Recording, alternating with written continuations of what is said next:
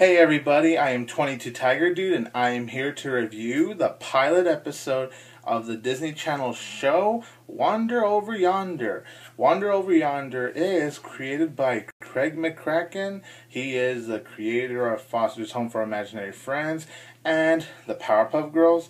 His wife, Lauren Faust, is the co-producer for the show, as well as being the story editor. She is the creator for My Little Pony Friendship Magic. It has the voice talents of Jack McBrayer as Wander, April Winchell as Sylvia, as well as Tom Hanks, the voice of SpongeBob SquarePants, and Keith Ferguson. Going into Wander Over Yonder, I did not expect this. I did not know what to expect from the show.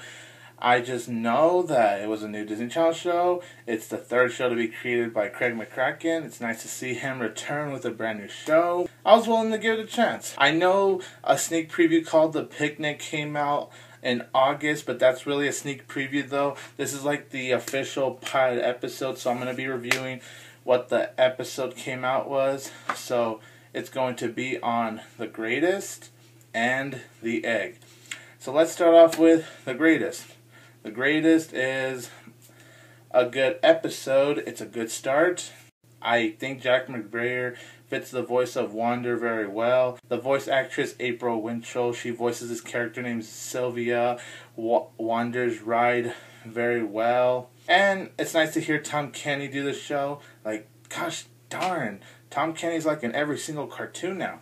You could totally tell this is a Craig McCracken show just by basing his style of shows, like the cartoon sound effects, his nice little quick cut shots, and that's very unique of this creator right here. And I have to admire him for that. And the humor in the show is good too. It's it's all quirky, it's crazy, and it's it's pretty darn cool actually. I was impressed by the greatest. I enjoyed the episode. Really, my only problem I do have with the episode though is that it is very fast pace like wow it doesn't slow down. And that's not a bad thing. I was still able to enjoy this episode but you know i wasn't able to enjoy this episode more because of how fast and quick this episode was. While i respect that style that maybe craig mccracken is going to try to go for in the show it got really distracting for me. That's my major issue with the greatest. But overall i the greatest is a good episode, and I'm going to give it a 7 out of 10.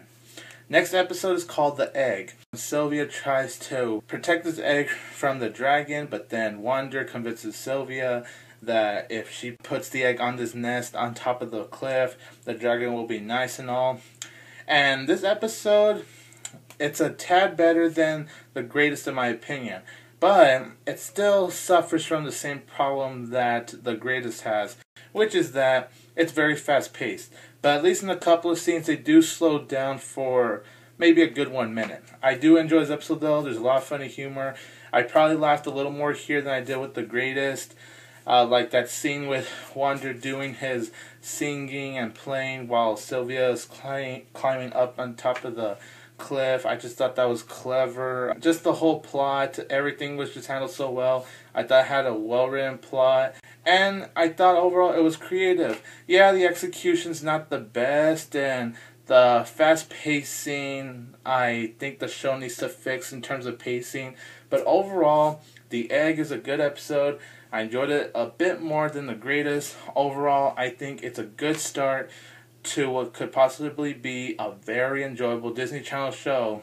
It's good to see Craig McCracken come back, and I'm going to give The Egg a 7.5 out of 10. So a 7 out of 10 for The Greatest, a 7.5 out of 10 for The Egg, and I'm definitely going to stay tuned for more episodes of Wander Over Yonder, the newest Disney Channel show that came out on Friday the 13th. Ooh.